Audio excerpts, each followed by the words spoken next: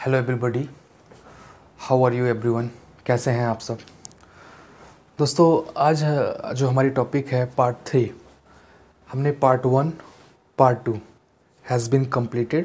Not today we will talk about hand safety hazards आज हम hand safety में hazards के बारे में जानेंगे. तो पार्ट वन पार्ट टू जिन लोगों ने नहीं देखा है, वो जाके वीडियो को देख सकते हैं, ताकि ये क्लियर हो सके। तो इस पार्ट में हम बात करेंगे हैज़ार्ड्स के बारे में। तो I have written over here some of hazards and here basic tool safety rules इधर हम बेसिक टूल सेफ्टी रूल्स के भी बारे में साथ साथ बात करेंगे और हैज़ार्ड्स के बारे में। सो दैट क्लैरिफिकेशन होने में आपको कंफर्मेशन मतलब इसको uh, आपको ये अंडरस्टैंडिंग होने में आसानी हो जाएगी।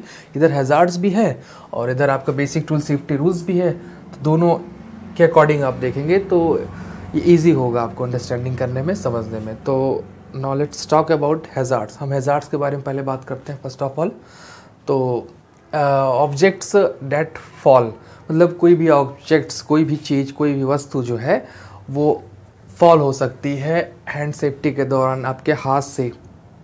कोई भी टूल कभी कभी क्या होता है ओवर रीचिंग जो करते हैं ओवर रीच्ड करते हैं लाइक आप कोई सपोज़ दैट आप लैडर पे, आप लैडर से क्लाइंबिंग करके ऊपर चढ़ के आपको कोई, एक एग्जांपल मैं देता हूँ, कोई बल्फ लगाना है। यहाँ पे आपको बल्फ लगाना है तो आपने एक यहाँ पे लगाया, एक पोजीशन पे आपने फिक्स किया, ठीक है? और एक कुछ डिस्टेंस पे है।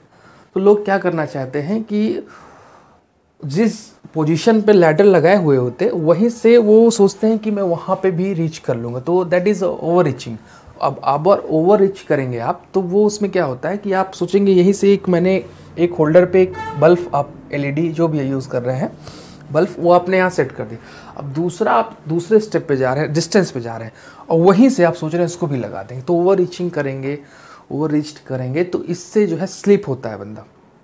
गिर सकता है फॉल हो सकता है। तो हो सकता है उस जगह पे हैंड सेफ्टी के माध्यम से देखें, कोई टूल्स भी हो सकता है। अच्छा कोई टूल्स होगा तो टूल्स में आप अगर हम ग्राइंडर ले लेते हैं। अब ग्राइंडर से या हम स्क्रू ड्राइवर से और या प्लायर से, इन सब चीज़ों से कोई चीज़ कर रहे हैं तो हम यहाँ से उस डिस्टेंस पे जाएँगे। अगर वो स्लिप कर जाता है या ग्राइंडर चलते वक्त स्लिप कर जाता है तो वो कट हो जाता है। उसमें इंजरीज हो जाती हैं फिंगर कट सकती है। एक मैं, एक ऐसा एक ऐसा एक वर्कर के साथ हुआ था।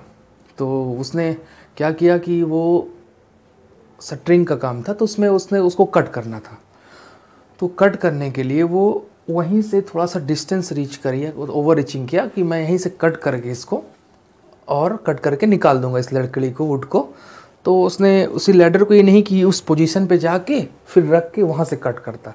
लेकिन वो उसी पोजीशन पे खड़ा होके अपने आप को थोड़ा सा झुकाया और वो सोचा यहीं से कट करके मैं निकाल दूँगा। जैसे ही किया, वो स्लिप कर गया उसके हाथ से। तो ऑब्जेक्ट्स के जगह पे हमने ग्राइंडर को रख दिया। वो चीज़ जो है फॉल हो गई। अब वो सीधा गिरते ही मतलब उसके हाथ पे आ गया। वो जब तक छोड़ा मतलब बचना चाहे, वो कट से उसकी दो फिंगर जो है गाइस कट गई थी। एक, दो, दोनों कट के अलग हो गई थी। ये दोनों। तो आप समझ लीजिए इस फिंगर की कितना कितना इंपॉर्टेंट है, कितना महत्वपूर्ण है कि अगर आपकी ये दोनों फिंगर ऐसे लाइक दिस अगर ऐसे कर दी जाए तो ये हाथ आपका फिनिश्ड हो गया, ख़त्म हो गया। मतलब आप एक काम भी नहीं कर सकते हैं। तो ये हाथ तो आपका मतलब फिनिश्ड हो गया। तो कोई भी ऑब्जेक्ट्स ये चीज़ यहाँ पे बताया जा रहा है कि हैज़र्ड्स के अगर आप अकॉर्डिंग देखेंगे तो कोई भी ऑब्जेक्ट्स ग्राइंडर या कोई भी जो पावर टूल्स हैं, वो हमें इंजरी दे सकते हैं हमारे हैंड्स को। तो वो हैज़ार्ड है। फॉल होते वक्त गिर सकता है या कोई चीज़ फॉल फॉल होके हमारे पैर पे गिर जाए, फैल सॉरी पैर की फिंगर्स कट सकती हैं फ्रैक्चर हो सकता है ये सब सारी चीज़ें हैं। और उसके बाद फ्लाई आर एब्रेसिव और स्प्लैश एब्रेसिव में मतलब घसड़ लग जाना मतलब घसड़ कभी कोई चीज़ इक्विपमेंट घसड़ घसड़ लग जाना, उसका छिल जाना, ठीक है, ये सारी चीज़ें हमने यहाँ पे इस पॉइंट में जाना। अब नेक्स्ट पॉइंट में हम जानेंगे हार्मफुल डस्ट हार्मफुल जो डस्ट होती हैं, भाई आप लकड़ी काट रहे हैं वुड का कटिंग कर रहे हैं ग्राइंडिंग के माध्यम से, कोई पावर टूल्स के माध्यम से तो कि उसकी सर्कुलर सा से ज़ाहिर सी बात है उसमें जो है, जो उसका सर्कुलर सा होता है, उसमें वहाँ से जो है डस्ट तेज़ी के साथ निकलते रहता है। अब आप कंटिन्यूसली उसको आप जो है विदाउट मार्क्स यूज़ करें काम करेंगे तो वो जो वहाँ पे डस्ट निकलता है, या जो फ्यूम्स निकलता है जो डस्ट निकलता है जो मिस्ट मिस्ट मिस्ट होता है लाइक आपका कोहरा टाइप में ये सब चीज़ें जो मतलब वो क्या होता है ये सब सारी चीज़ें हार्मफुल होती हैं। अब इसमें हार्मफुल कैसे होगा मतलब आप आ, देखा जाए कि तो हार्मफुल की डस्ट में आप जो उसमें छोटे छोटे पार्टिकल्स निकल रहे हैं आप उसको इनहेल कर रहे हैं वो हमारे लंग्स के लिए बहुत बड़ी बीमारी ब्रंकाइटिस होती है।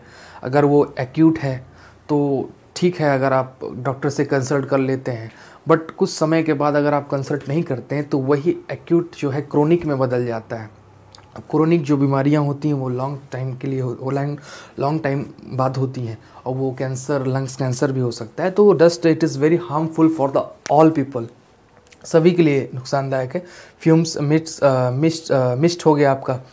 वेपर हो गया एंड गैसेस और गैसेस भी जो लीकेज होती हैं, उस दौरान कोई भी इक्विपमेंट्स को कट करते या हैंड में तो वो सारी जो है वेपर हैं, ये गैसेस हैं, ये हमारे हैंड के अकॉर्डिंग जो है, ये पावर टूल्स के द्वारा निकलती हैं, इनसे हमारे नुकसान होते हैं, खतरे पैदा होते हैं। फ्रेड और डैमेज इलेक्ट्रिकल कॉर्ड्स जो फ्रेड फ्रेड लाइक मतलब अस्त व्यस्त तरीके से एकदम, और डैमेज इलेक्ट्रिकल जो कॉर्ड्स होते हैं, वो अस्त व्यस्त हों, वो डैमेज हों तो वो जो है हैज़ार्डस हैं। भाई वो पावर टूल्स होते हैं। पावर टूल्स में हो या हैंड टूल्स हो अगर हम वो अच्छी प्रॉपर कंडीशन में नहीं होगा तो वो हैज़ार्ड्स को जनरेट करेगा क्रिएट करेगा उत्पन्न करेगा। और connection and improper grounding connection भी आ, जो है वो प्रॉपर तरीके से ना हो ग्राउंडिंग ग्राउंडिंग भी अच्छी ना दी जाए तो वो पावर टूल्स जो है हैज़ार्ड्स के रूप में काम करने लगते हैं। लास्ट इज़ डैट हमारा वाइब्रेशन एंड इम्पैक्ट जो वाइब्रेशन होता है, जिस पावर टूल्स का जैक हम जैक हमर का इस्तेमाल कर रहे हैं ग्राइंडिंग का इस्तेमाल कर रहे हैं ड्रिलिंग कर रहे हैं तो उन सब टूल्स से जो है बॉडी में वाइब्रेशंस होता है, उसका इम्पैक्ट जो, उसका असर होता है, बहुत ख़तरनाक होता है, बहुत बॉडी की जो मसल्स होती है लूज़ हो जाती है। तो ये सारी चीज़ें हैं जो हमने हजार्ट्स में समझा। Now let's talk about the basics tool safety rules अब हम बेसिक सेफ्टी रूल्स के बारे में कुछ जान लेते हैं। कि क्या क्या हमें प्रिकॉशंस के माध्यम से कुछ रूल्स हैं उसके अकॉर्डिंग अगर हम काम करते हैं तो आसानी होती है। जैसे कि फ़र्स्ट पॉइंट में हमारा मेंटेन रेगुलरली जो है हमको रेगुलरली जो है आ, सारी चीज़ मेंटेन रखनी चाहिए। जो भी आपके इक्विपमेंट्स हैं जो भी टूल्स हैं पावर टूल्स हैं उन सब चीज़ों को आप जो है प्रॉपर तरीके से चेक करें। रेगुलरली रेगुलर उसको मेंटेन करें रेगुलरली और उसके बाद में हमारा सेकंड पॉइंट में है इंस्पेक्ट बिफोर यूज़ कोई भी उपकरण, कोई भी टूल को यूज़ करने से पहले ये रूल्स कहता है कि you have to inspect it आपको इंस्पेक्ट करना है उस चीज़ को देन आप इस, अपने काम में उसको लाएँ. थर्ड पॉइंट में है use the right tool for the job जो राइट टूल्स हैं, उसी का इस्तेमाल हम जॉब में करें, कार में करें अदरवाइज़ उस चीज़ का इस्तेमाल हम ना करें.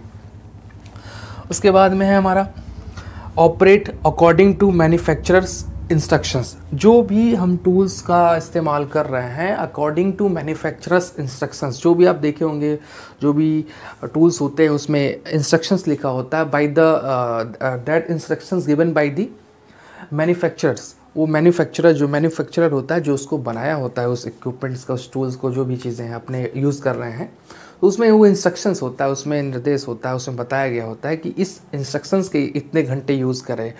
गार्ड होना इंपॉर्टेंट है। इतने आर्स पे इतने बोल्ट इतना वोल्टेज का इंपॉर्टेंट होना ज़रूरी है। कब कितने टाइम पे उसको स्विच ऑफ़ करना है, किस चीज़ में उसमें लॉक लगाना है, हर चीज़ उसमें मतलब एक सिस्टमेटिक इंस्ट्रक्शंस के अकॉर्डिंग दिया होता है। तो वो चीज़ वहाँ पे हमें यह बताया जा रहा है कि ये आप करें सेफ्टी रूल्स के अकॉर्डिंग उसके बाद use the right personal protective equipments P जो राइट्स पर्सनल प्रोटेक्टिव इक्विपमेंट्स हैं, उसका इस्तेमाल करें सो so दैट आपको ईजिली जो है प्रोटेक्ट हो सकते हैं हज़ार से। बच सकते हैं प्रिवेंशन हो सकता है प्रिवेंट हो सकते हैं। And last last is that use guarding मतलब जो गार्ड होता है वो गार्डिंग गार्ड से गार्डिंग हो रहा है। यहाँ पे तो गार्ड का इस्तेमाल होना चाहिए मतलब आप ग्राइंडिंग का इस्तेमाल करें, उसके बगल जो है सर्कुलर सॉ के पा, किनारे गार्ड लगा होना ज़रूरी चाहिए उस टूल पावर टूल्स में।